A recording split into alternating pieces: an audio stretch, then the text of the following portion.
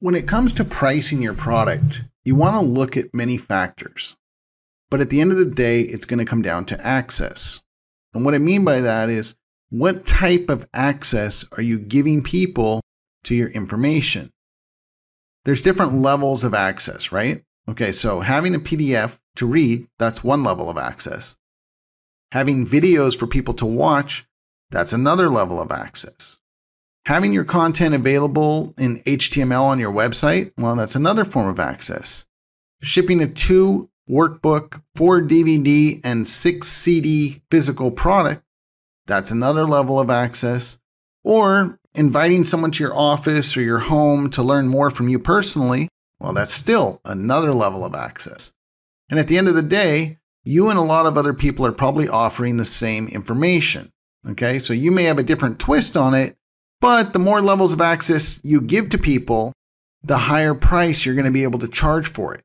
You know, the various levels of access you give people could make the difference very well between, say, a $97 ebook or a $197 ebook and two CDs, a $200 ebook and two CDs, or a $500 uh, ebook, two CDs, and two personal phone calls and so on. You know, you see that like you can just keep going. The, the more access you give people, uh, the higher up you can go.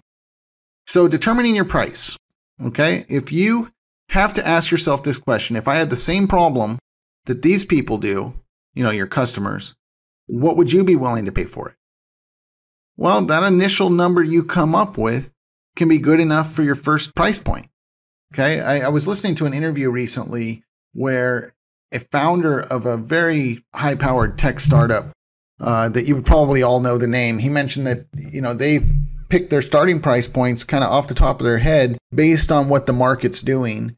And then they'll come back later and they'll do extensive testing and see what is the actual best price point. And oftentimes they find that that initial off the cuff price, uh, it's beating out, you know, all of this other advanced testing that they're doing. Okay, so what you need to do is check around, you know, see what your market is offering, and then just give it a shot. I mean, sometimes people get way too hung up in the, you know, an analysis and uh, they get all analytical and what should we actually be charging? I think you just pick a price point and you go for it. Features, benefits, and bullet points. You want to include bullet points that are benefits derived from features. What that means is that they state the benefit first, which is what your customer cares about, followed by the feature that's going to make that happen for them. So the feature is what it does, and then the benefit is the feeling, the emotion, and the real reason why they're going to pay you for your product.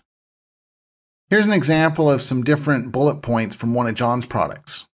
Okay. Create multiple user accounts so you can have personal and privately scheduled activities. And then it goes into it more in depth. Okay. Next one. Take your prospect information with you on the road wherever you go. Okay. What they're looking for is they want to have their information portable. And then the feature that does that is in the software. It's in Real Prospect.